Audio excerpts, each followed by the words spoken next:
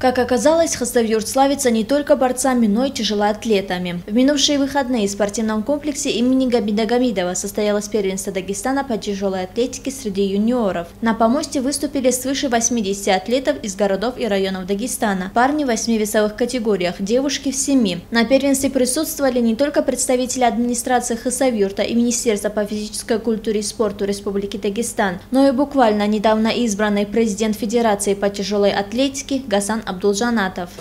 Прежде всего хочется, конечно, вас всех поздравить.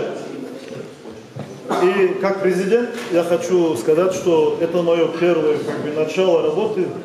Э, избрание где-то, наверное, 3-4 недели назад само произошло. Я думаю, э, совместно с тренерами, совместно с, теми, с вами вместе, мы сделаем так, чтобы этот спорт был один из лучших популярных в Дагестане, в России и во всем мире.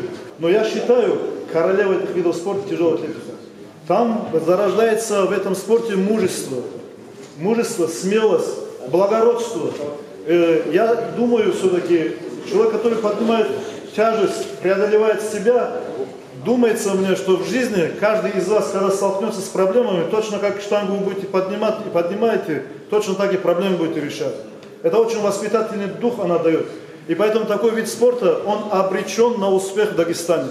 Я думаю, что мы со своей стороны, с Федерацией, совместно с заинтересованными лицами, с Министерством спорта, Э, на местах с комитетами, с отделами. Мы сделаем все возможное от себя, чтобы вы чувствовали себя комфортнее, чтобы вот этот соревновательный дух, массовость, она была бы больше и больше. Тяжелая атлетика является не самым простым видом спорта. Поднятие штанги как таковое не занятие для женского пола, но при этом девушки ничуть не уступают парням. На первенстве Дагестана из 10 заявленных атлеток трое завоевали золотые медали. Начальник отдела по физической культуре и спорту Магомед Али Газимагомедов заявил о том, что тяжелая атлетика является еще одним перспективным видом спорта в Хасавюрте, как среди парней, так и девушек. Город Хасавюрт всегда рад встречать вот такие мероприятия.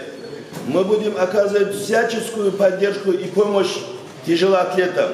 И оказывали раньше. В прошлом году мы проводили здесь и первенство СКФО, и первенство Дагестана. И будем проводить, и будем создавать еще лучшие и лучшие э, условия.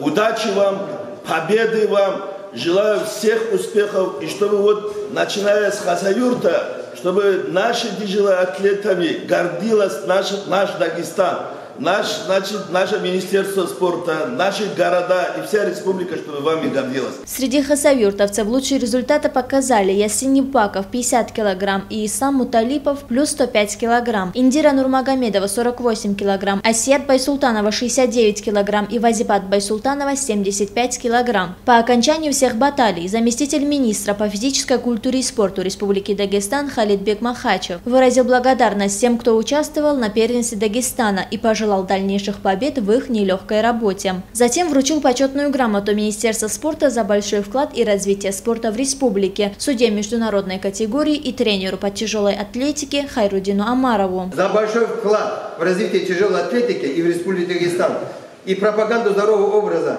и в связи с 55-летием со дня рождения хочу поздравить Амарова Харудина Шахрудиновича. Почетно По итогам республиканского первенства сформирована сборная Дагестана для участия в первенстве России, которое состоится в апреле в городе Тула. Бурлия Цамбиева, Пермагомед Пермагомедов, информационная программа «Пульс».